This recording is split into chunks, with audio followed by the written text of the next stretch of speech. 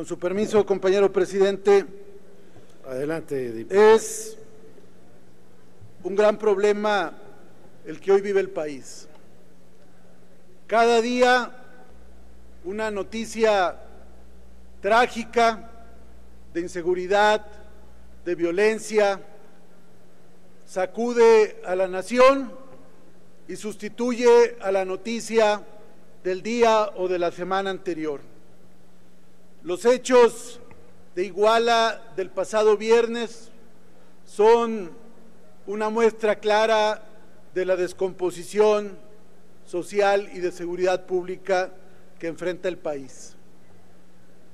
Nosotros, el Movimiento Ciudadano, desde el primer momento condenamos y reprobamos estos hechos y exhortamos a las autoridades al puntual esclarecimiento de los hechos y al más drástico castigo a los responsables. Nos parece una tragedia para el país que se hayan visto involucrados policías municipales de Iguala. Hoy están tras las rejas 22 elementos en el municipio de Acapulco, en el penal de las Cruces, producto de una actuación de la Procuraduría de Justicia del Estado de Guerrero. Sin embargo, hay también 57 jóvenes desaparecidos, jóvenes normalistas de la Escuela Normal Rural de Ayotzinapa, jóvenes que no se sabe su paradero y que hoy lo más preocupante es que estén bien, que estén sanos y que pronto puedan estar de regreso. Al mismo tiempo, también nos solidarizamos y externamos nuestra fraternal condolencia a los compañeros del Partido Acción Nacional porque el domingo pasado en Acapulco fue victimado cobardemente Braulio Zaragoza Maganda, secretario general del Partido Acción Nacional en Guerrero y hermano de un regidor del Cabildo porteño. Nosotros queremos que se esclarezca puntualmente estos hechos, que no quede ninguna duda y que se castigue ejemplarmente a los responsables. Y al mismo tiempo queremos llamar la atención del gobierno federal y en especial del secretario de Gobernación Miguel Ángel Osorio Chong para que haya una intervención más decidida de la Federación en el tema de las policías municipales.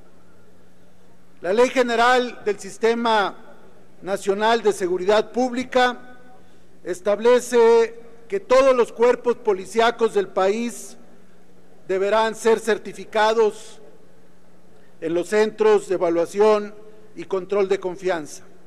Estos controles incluyen exámenes de evaluación médica, toxicológica, poligráfica de desempeño, actitudes físicas, entorno social y situación patrimonial.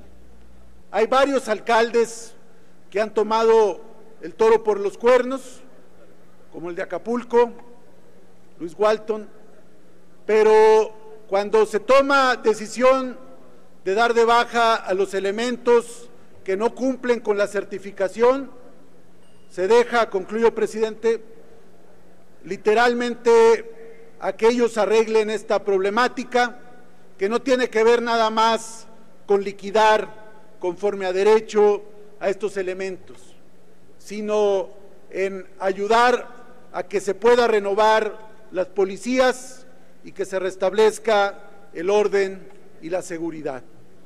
Este caso es el caso de muchos municipios. Las policías municipales se han convertido en un problema de seguridad nacional. Son elementos armados que cuando se mete mano firme en las certificaciones no vemos la solidaridad del gobierno federal para los alcaldes independientemente del color o del partido que represente. Y sin embargo, a la Gendarmería Nacional solo este año se le ha invertido 4.500 millones de pesos.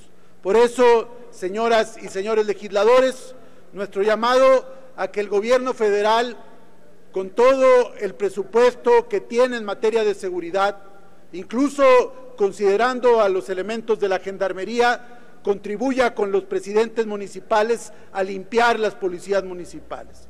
El caso de Iguala, al margen de lo que arrojen las investigaciones, habla de la podredumbre de las policías municipales que están coludidas en muchos lugares y al servicio de la delincuencia organizada. Son además un factor, concluyo presidente, de inestabilidad.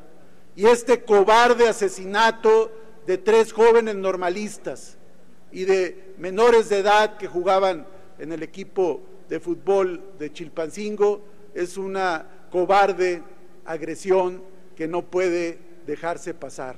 Queremos que regresen con vida los 57 jóvenes que están desaparecidos. El país vive una hora trágica y requiere la solidaridad de todos al margen de colores y banderas políticas. Es cuanto.